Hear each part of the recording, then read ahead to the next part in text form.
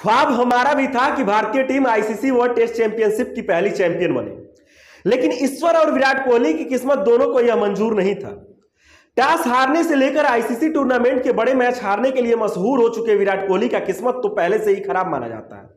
लेकिन भारतीय फैंस की माने तो इस मैच में विराट कोहली अपनी किस्मत से कहीं ज़्यादा खराब कप्तानी और बल्लेबाजी की वजह से हारे। न्यूजीलैंड के कप्तान केन विलियमसन बतौर कप्तान पहले से ही हिट माने जाते हैं। लिहाजा सिक्के ने भी उनका साथ दिया और सिक्के का फैसला आते ही टीम इंडिया को बल्लेबाजी के लिए बुलाया गया।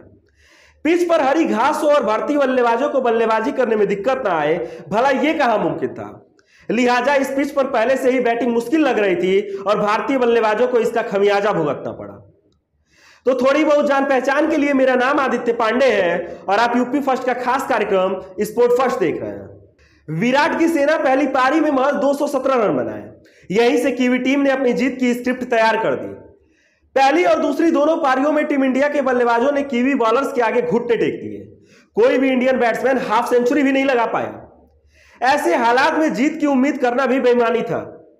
पहली पारी में न्यूजीलैंड ने दो सौ उनचास रन बनाए, जिसके आधार पर उसे 32 रन की लीड मिली। भले ही यह आंकड़ा दिखने में छोटा लग रहा हो, लेकिन लो स्कोरिंग मैच में इसकी अहमियत काफ़ी बढ़ जाती है। कीवी टीम को इस बढ़त का फ़ायदा हुआ। उन्हें जीत के लिए महज एक सौ उनतालीस रन का टारगेट मिला, जिसे उन्होंने महज दो विकेट खोकर पूरा कर लिया।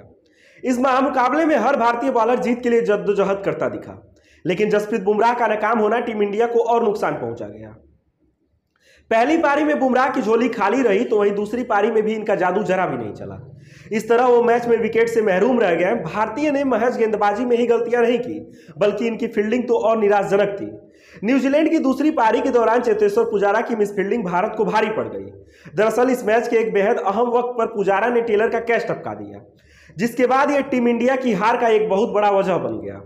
इकतीसवें ओवर के दौरान जसप्रीत बुमराह की एक गेंद को टेलर ने रोकने की कोशिश की और किनारा लगकर सीधे पुजारा के पास गई। लेकिन पुजारा के हाथ से गेंद छिटक गई और टेलर आउट होने से बच गए।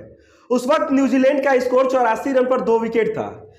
विराट कोहली ने भले ही टीम इंडिया को आईसीसी वर्ल्ड टेस्ट चैंपियनशिप के फाइनल में पहुँचाया, लेकिन अहम मुकाबले में उनकी नाकामी फिर दुनिया के सामने आ गई। वो कीवी टीम के खिलाफ सटीक रणनीति बनाने में नाकाम रहे और उनकी कप्तानी में भारत का आईसीसी ट्रॉफी जीतने का ख्वाब महज ख्वाब ही रह गया।